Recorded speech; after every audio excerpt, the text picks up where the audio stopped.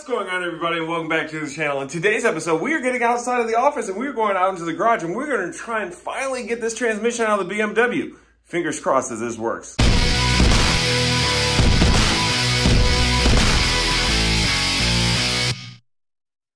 Down here underneath the BMW, there's a few things that I need to do before we can take off the trans. One of them being I need to get this line off like with anything else on this vehicle, I assume that's going to be extremely difficult, and I may not even be able to do it. But you know what? We're still going to give it the good old college try. Uh, need to get in here and get some of these bolts off here to be able to take the transmission out. I have already attempted one, and it did not go so well. So, not really sure what we're going to do here if this thing doesn't want to play ball. But we're going to try the best that we can because uh, right now we're having issues getting this thing in and out of gear. And this is the main reason why Drew was going to get rid of the thing in the first place. So this is the one thing that we had to fix. So I'm going to go ahead and try and get this line off here and then work on releasing these bolts from the transmission. We'll take in a bunch of extensions here and uh, put them on the end of a wrench I was able to get up in here to where I can't get the camera. Okay, you can kind of see it there. We're sitting in an angle, but whatever. That's where the uh, master cylinder went that controls, I don't know, something. I would assume the clutch, something or other. But I was able to get to those 13 millimeter bolts and I uh, got this thing here hanging right now out of the way. So hopefully that clears up a little bit of space and we can get up in there to that other bolt it is way up in there where I also cannot get the camera. But trust me, there's a bolt here and uh, we need to get to it. Oh, there, there it is. There it is, that one right there. Not the closest one, the farthest one. We need to get that one out. So in typical fashion with this car, nothing is going the way that I thought it would. So I'm out from underneath the car, grab myself an A&W, and I'm watching the Daily Drift here on the TV uh, to figure out what I'm doing wrong and how to get this damn thing off. So hopefully this guy's got some answers because clearly I do not. So watching that video did help because I realized that it, it, looks like I was trying to get loose some of the wrong bolts. This one here is definitely a different size. It goes all the way through, which I can't tell if this one does or not. Ugh. God, I really hate this car.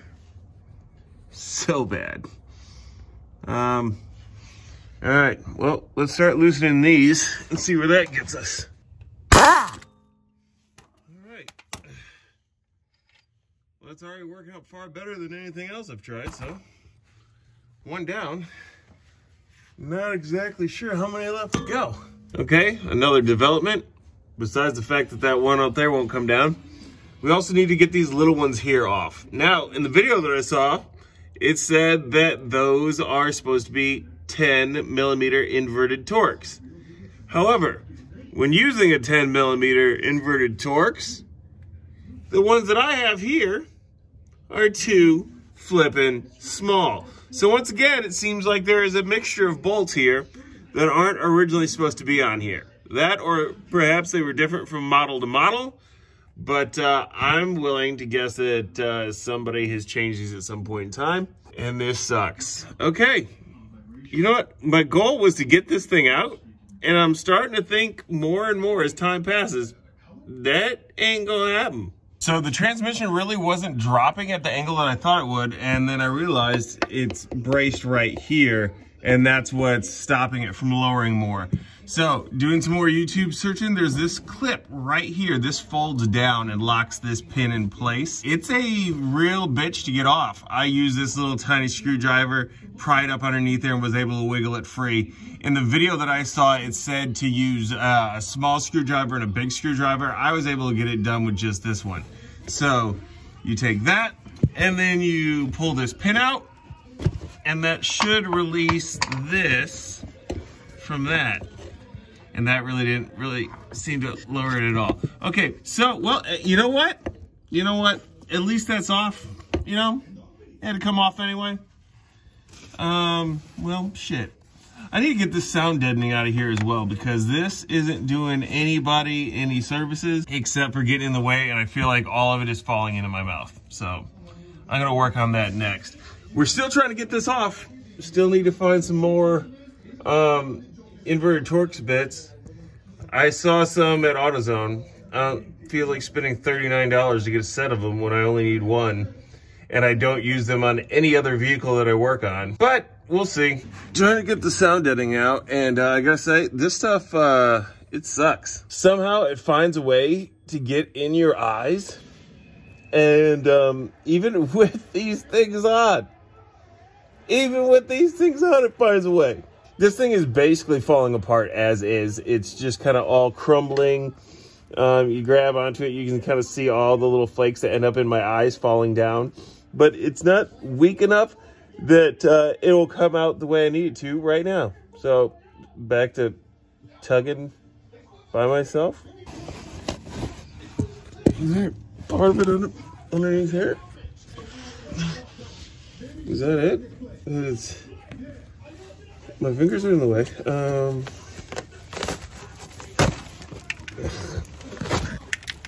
oh my God. That cannot be healthy.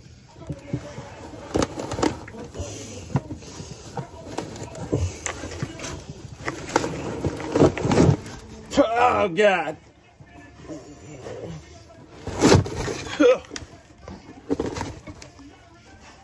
She out though, kind of. Almost. Oh God. That's nothing but powdered cancer right there. How is this cloth still in here? Oh yeah. Every bit of it's still in the way. Oh God, I'm breathing in so much of this. All right, well, there's part of it. Still got some more to go. Since the impact doesn't seem to be really doing much of anything, I went ahead and I grabbed the breaker bar and put it on all my extensions to try and break loose the bolts there remaining on the transmission. And then this happened. Yep. That is snapped off within another extension. And I did this by hand. I thought when it started to move that I was actually breaking it free. All I was doing was breaking my wrench. So I'm gonna crawl underneath, cover all of these things with PB Blaster, and uh, just wait. The can always says, soak it liberally, and then whatever you think it's gonna need, put some more on there. So this thing is gonna be pretty well soaked, and uh, I'm gonna have a nice little spot here. But thankfully I threw down the cardboard, and we have all the asbestos that's been laying here, could be able to collect it. So that is where we are going to call it for today. I was hoping to get the transmission out for you guys and have a fully completed video. But as you can see, this is pretty much the way it works when working on this BMW. I'm not to lie though, it kind of worked that way sometimes when working on the Mustang as well. We got in all of our parts for version 2 of the S550 RTR Spec 2 Mustang. So we're gonna have an update on that soon. I'm really looking forward to getting that thing completed and then we can move on to version 3, which is gonna be a little bit of a thick girl. Thank you guys so much for tuning into this video. Make sure to go ahead and hit the subscribe button if you're new. You're not going to want to miss any of our episodes that we upload. We upload twice a week, Mondays and Thursdays. We do fun projects like we are here with the BMW as well as just garage projects in general here at GSSG. Make sure to go ahead and hit the thumbs up so we know that you like the content that we're putting out and how could you not? I'm involved. Other people are occasionally involved. Every now and then we get shit done, but not too often. So you don't feel like you yourself aren't accomplishing things in life. We're doing it for the average folk. So thank you guys so much for tuning in. I will catch you in the next one. Peace.